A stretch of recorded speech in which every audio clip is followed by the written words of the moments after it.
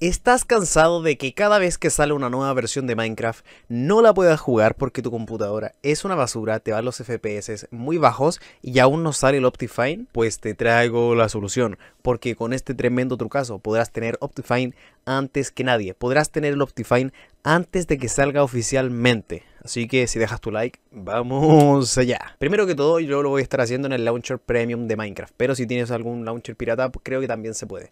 Lo primero sería instalar la última versión, en este caso es la 1.19.3. Y si venimos a lo que es Optifine, pues tenemos solamente versión oficial hasta la 1.19.2.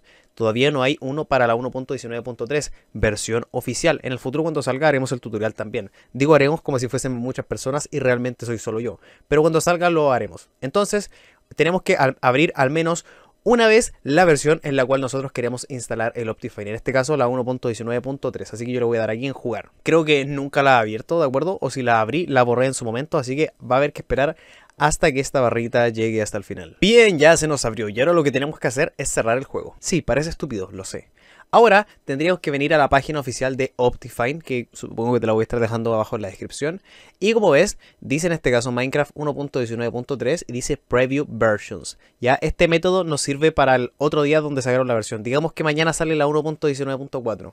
Igual va a haber que esperar un par de días pero no tantos para que saquen la versión final. Le tenemos que dar aquí donde dice Preview Versions, ¿de acuerdo? Y tenemos, o sea, lo que significa son versiones previas. Y tenemos tres versiones previas. ¿Por qué?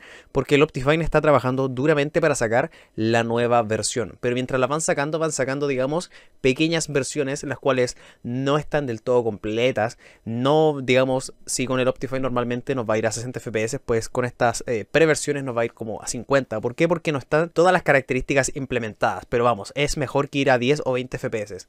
Así que buscamos la última, tenemos la pre 1, pre 2, pre 3 y le damos en donde dice download. Se nos sale un acortador, ¿de acuerdo? En el cual ellos van a estar ganando dinerito nosotros por visitar esta página.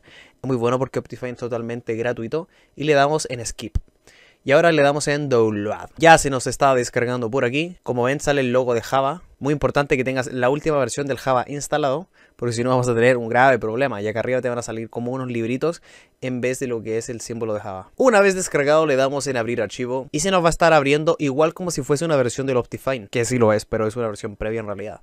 Y le damos en install. Optifine ha sido instalado exitosamente. Le damos en aceptar y ya podemos volver a abrir nuestro launcher de Minecraft. Me parece curiosa esta nueva forma de cargar del lanzador. Antes no la había visto. Se nota que no abro el Minecraft hace tiempo. Y vamos a ver, vamos a ver. Y tenemos la versión, como ves, 1.13, no, 1.19.3 del Optifine. Pero ¿cómo? Si aquí todavía no está la versión final. Ah, porque con el tremendo tu caso ya podemos disfrutar de lo que es el Optifine. Y ahora le vamos a dar en jugar. Entiendo los riesgos, jugar. Y se me había olvidado decirlo, pero el Optifine no solamente sirve para mejorar el rendimiento, que es por lo que muchos lo, lo descargan, sino porque también nos va a permitir colocar shaders. Ya el Minecraft normal no permite utilizar shaders, pero si ya podemos colocar el Optifine, vamos a poder utilizar shaders también ¿cierto? Ya tendríamos lo que es el Minecraft 1.19.3 y como ves dice Modded. Vamos a Options, Video Settings y ya tenemos lo que sería la configuración del Optifine. Ahora como es una versión de prueba puede que tenga algunos bugs, pero de todas formas es mejor tenerlo que no tenerlo. Si yo lo doy aquí a shaders, pues ya podría ponerme todos los ricos shaders, que si no sabes cómo descargarlo, si no sabes cuál es el mejor, te voy a estar dejando un videito por aquí, en las tarjetas, también abajo en la descripción y seguramente en alguna de las miniaturas que salga por aquí o por aquí o no tengo idea dónde.